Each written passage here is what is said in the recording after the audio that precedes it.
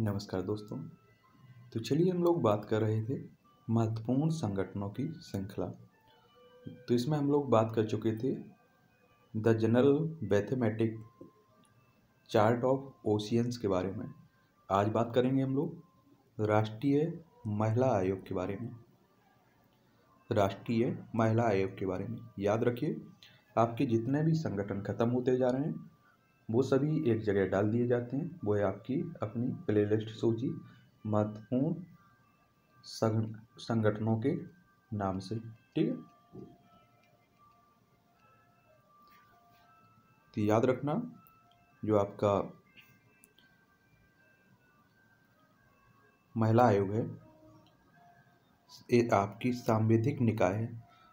राष्ट्रीय महिला आयोग अधिनियम उन्नीस सौ नब्बे आया था। और इसकी स्थापना हुई थी इसी अधिनियम के तहत जनवरी उन्नीस सौ बानवे में। कब हुई? उन्नीस सौ बानबे में। दीवानी अदाल, अदालतों के जो अधिकार हैं, वो आपके राष्ट्रीय महिला आयोग को मिले हुए हैं, ठीक है? तो याद रखना, ये आपकी सांविधिक निकाय है और इसके तहत राष्ट्रीय महिला आयोग अधिनियम 1990 आया था। इसी के तहत इसकी स्थापना की गई जनवरी उन्नीस सौ बानवे में। यही आपकी दीवानी अदालत के अधिकार मिले हुए से ये आपका पूरे भारत में लागू होता है। पहले ये जम्मू कश्मीर में लागू नहीं होता था। लेकिन जैसा कि आपको पता होगा कि जम्मू कश्मीर से विशेष राज्य का दर्जा खत्म हो चुका है 2019 में। तो एक पॉइंट अब आपको याद रखना है। क्या रखना है याद? कि वो सभी जम्मू कश्मीर में प्रावधान लागू होंगे जो अन्य राज्यों में लागू होते थे। ठीक अब कोई भेदभाव नहीं किया जाएगा आपका। राष्ट्रीय महिला आयोग के संरचना की बात करें हम लोग तो संरचना में इसमें एक अध्यक्ष होगा। केंद्र सरकार मनोनीत करेगी इसे। महिला आयोग के अध्यक्ष को कौन मनोनीत करेगा? केंद्र सरकार।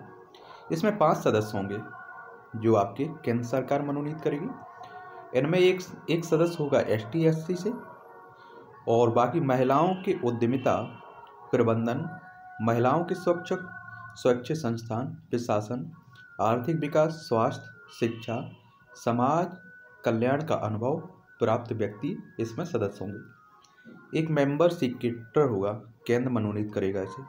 यह प्रबंधन संगठनात्मक संरचना का विशेषज्ञ होगा, ठीक है?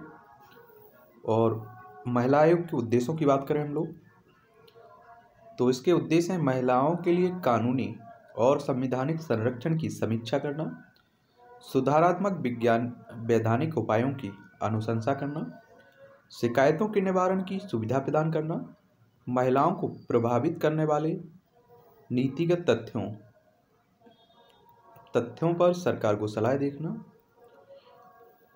महिला आयोग के कार्यों की बात करें हम लोग तो इसके कार्यों में शामिल हैं संविधान तथा अन्य कानूनों के अंतर्गत महिलाओं को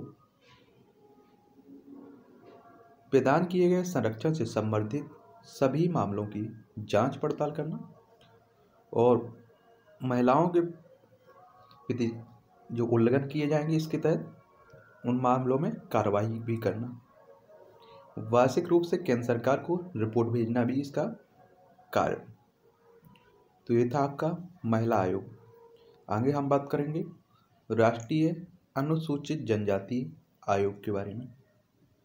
राष्ट्रीय अनुसूची सूचित जनजाति आयोग के बारे में एस टी आई